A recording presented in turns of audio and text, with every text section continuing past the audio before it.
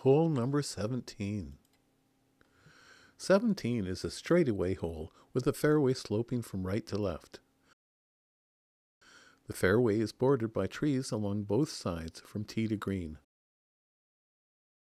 There's a large bunker on the right side of the green, and on the left and behind the green, the land slopes sharply away from the green. The green slopes from back right to front left, and there are so many settle breaks that you should check carefully before each putt.